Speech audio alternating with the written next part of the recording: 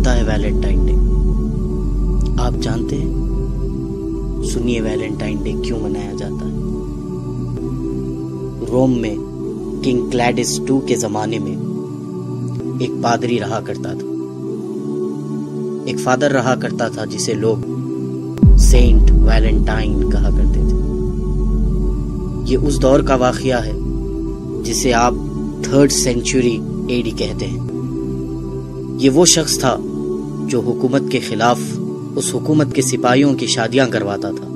تو بادشاہ کلیڈس کو اس پر بہت غصہ آیا۔ اس کے ملک کے قانون کو توڑنے پر بادشاہ کلیڈس نے اسے جیل میں ڈال دیا۔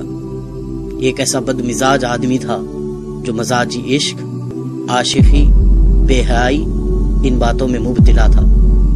جب اسے جیل میں ڈال دیا تو اس نے اسی جیل کے جیلر کی بیٹی سے عاشقی کی۔ اسے اپنے عشق کے جھانسے میں پھنسایا اور اس کے ساتھ ایک ناجائز رشتہ قائم کیا۔ اس جیلر کی بیٹی اس ویلنٹائن کی دیوانی ہو گئی اور روزانہ چوری چھپے اس سے ملنے کے لیے آتی اور اپنے ساتھ ایک لال گلاب لیے اپنے اس ناجائز محبوب سے ملنے کے لیے آتی۔ یہاں تک کہ اس نے اس عورت کو اتنا دیوانہ بنا دیا تھا کہ اس نے اپنا مذہب چھوڑ کر اس پادری کے مذہب کو یعنی عیسائیت کو قبول کر لیا تھا۔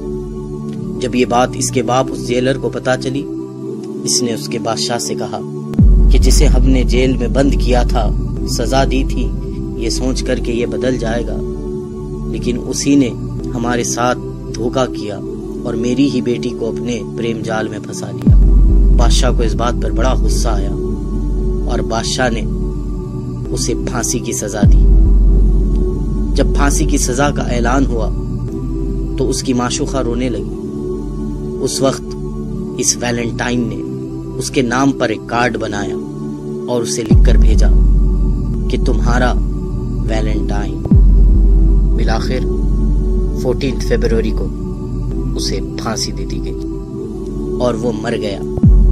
یہ واقعہ تھرڈ سینچوری کا ہے، لیکن آپ جانتے ہیں، ٹویلتھ سینچوری تک کسی نے بھی ویلنٹائن ڈے اس طرح نہیں منایا تھا۔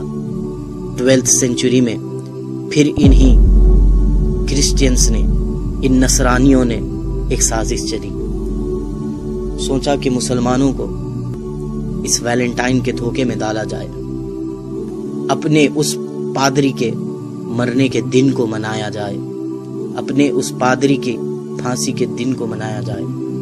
اس کا نام اس پادری سے جڑا دیں۔ اور اس کو ویلنٹائنس ڈے کہا جائے۔ آپ سب لوگ انگلش سے اچھی طرح واقف ہے جب کوئی چیز کسی سے منسوب ہو جاتی ہے، کسی سے جڑ جاتی ہے، تو اس کے ساتھ اپوسٹفی ایس لگایا جاتا ہے۔ اب آپ اس ویلنٹائن ڈے کے نام پہ غور کریں۔ اسے جو عام کہا جاتا ہے، یہ ویلنٹائن ڈے ہے، لیکن حقیقت میں جو اس کا پرناؤنسیشن ہے، وہ ہے ویلنٹائنس ڈے یہ ایک ویلنٹائن والا دن ہے اور اس بدبخت کی موت کو لوگ منا رہے ہیں۔ کس طرح سے منا رہے ہیں؟ بے حیائی کو عام کرتے ہوئے، اپنی حیا کو چھوڑتے ہوئے۔ ناجائز رشتے، ناجائز محبتیں اور ناجائز تعلقات کے ساتھ اس دن کو منایا جا رہا ہے۔ جس طرح وہ دیوانی اس کے لیے گلاب لے کے جایا کرتی تھی، آج بھی ناواقف اور غافل لوگ اپنے محبوبوں کے لیے گلاب لے کر نکل رہے ہیں۔ کیا ہو گیا ہے ہمیں کہ جس طرح ویلنٹائن نے اس ناجائز رشتے کے لیے اپنی محبوبہ کے لیے کارڈ بنایا، آج اسی طرح عشق میں پڑے ہوئے بیکار عاشقوں نے اپنے محبوباؤں کو کارڈ کے تحفے دینا شروع کر دی گلاب کے تحفے دینا شروع کر دی ہم کہاں جا رہے ہیں؟ ہمیں کیا ہو گیا ہے؟ ایک پادری کا دن منا رہے ہیں۔ جس نے گناہوں کو عام کیا، ہم آج اس کی یاد منا رہے ہیں۔ ارے، ہم محبت کرتے، ضرور محبت کرتے۔ انسان کے دل میں اللہ نے محبت کا جذبہ رکھا ضرور ہے۔ ہم محبت کرتے لیکن اس سے محبت کرتے کہ جس کی محبت کے لیے ہمارے سینوں میں دل رکھا گیا۔ جس نے کہا کہ تم مومن ہو نہیں سکتے جب تک کہ مجھ سے محبت نہ کر لو۔ ہم مومن ہونے کی خاطر اپنے محبوب نبی سے محبت کرتے۔